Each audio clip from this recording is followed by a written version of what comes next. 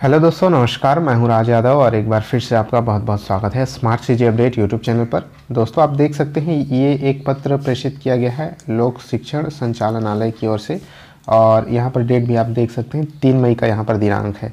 ये प्रेषित किया गया है समस्त संभागीय संयुक्त संचालक शिक्षा संभाग छत्तीसगढ़ को, ठीक है? सभी संभाग को ये जो है पत्र को प्रेषित किया गया है। और विषय सीधी भर्ती के पदों पर नियुक्ति हेतु रिक्त पदों की जानकारी प्रदान करने बाबत। दोस्तों, इस लेटर को पूरा डिटेल से देखेंगे और समझेंगे इसमें क्या चीज़ें दी गई हैं। तो ये सीधी भर्ती के संबंध में इस लेटर को जारी किया गया है शिक्षक भर्ती के लिए। यहाँ पर आप देख सकते हैं कि आपके संभाग के अंतर्गत सभी संभाग प्रमुख को इसको जारी किया गया है। संभाग स्तरीय, राज्य स्तरीय शिक्षक संवर्ग की सीधी भर्ती के रिक्त पदों पर भर्ती किया जाना है। यहाँ पर यह बताया जा रहा है, जिला स्तरीय जिला स्तरीय, संभाग स्तरीय और राज्य स्तरीय, यानी कि सहायक शिक्षक शिक्षक और व्याख्याता के रिक्त पदों पर भर्तियाँ किया जाना है। इस बाबत निर्धारित प्रपत्र में संलग्न प्रपत्र संलग्न कर भेजे जा रहे हैं। तो एक प्रपत्र भेजा गया है, जिसमें डिटेल मंगाया गया है। संलग्न प्रपत्रों की वांछित जानकारी सॉफ्ट एवं हार्ड कॉपी में तैयार कर 8 मई तक भेजने के लिए कहा गया है। देख सकते हैं, बहुत ही जल्द इसके लिए जानकारी मंगाई गई है। 8 मई को कम समय दिया गया है 11 बजे तक इसको जो है ये जानकारी पहुँच जाना चाहिए, ये यहाँ पर बताया गया है। और सर्वोच्च प्राथमिकता दें इस कार्य को, यानी कि जल्द से जल्द इसकी जानकारी मंगाई गई है।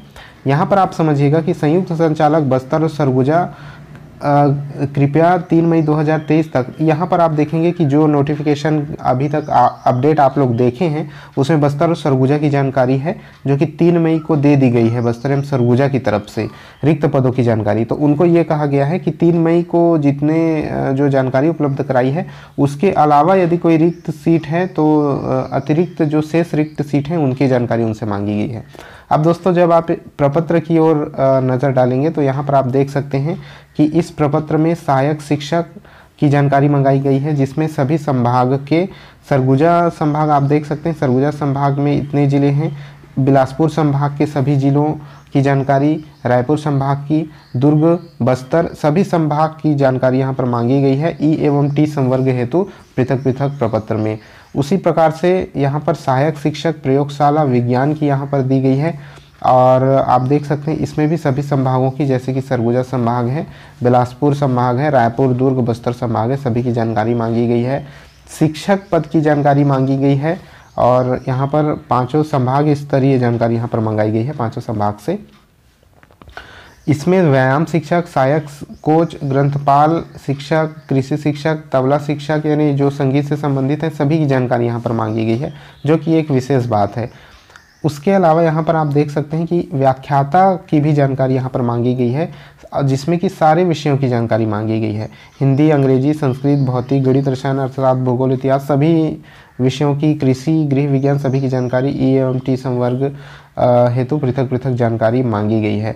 तो इस प्रकार ये जानकारी मांगी गई है जिसमें सारे संभागों के, सारे विषयों के, सभी तरह के शिक्षकों के जैसे कि व्याख्याता के लिए हर विषय की जानकारी मांगी गई है। अब चूँकि ये सारी जानकारियों को मांगा गया है और विषय में यहाँ पर आप देख सकते हैं, विषय में स्पष्ट तौर पर लिखा गया है कि सीधी भर्ती के पदों पर नियुक्त हेतु रिक्त पदों की जानकारी प्रदान कीजिए। अब दोस्तों, एक बात समझिएगा कि इसमें ये बिल्कुल क्लियर नहीं है कि जो वैकेंसीज आने वाली है, जो वैकेंसी जिसका फॉर्म छः मई से भराया जब, भरा जाना है, जो कि आज है छः मई तो आज से अगर इसकी वैकेंसी भरनी शुरू हो रही है तो उसमें इसको ऐड किया जाएगा या नहीं किया जाएगा? इसकी जानकारी फ़िलहाल नहीं है। आगे जो भी अपडेट होगी आपको दी जाएगी। लेकिन ये तय है कि सभी विषयों की जानकारी मंगाई जा रही है। जल्द से जल्द मंगाई जा रही है। जैसे कि मैंने बताया, आठ मई को मंगाई जा रही है। आठ मई तक मंगाई जा रही है। तो ये कयास आप लगा सकते हैं कि हो सकता है कि इसी वैकेंसी में उन पदों को शामिल किया जाए। अगर नहीं भी शामिल किया जाता है तो बहुत ही जल्द एक नई वैकेंसी आपको देखने को मिलेगी, जिसमें शिक्षक, सहायक शिक्षक, व्याख्याता तीनों प्रकार के पद रहेंगे।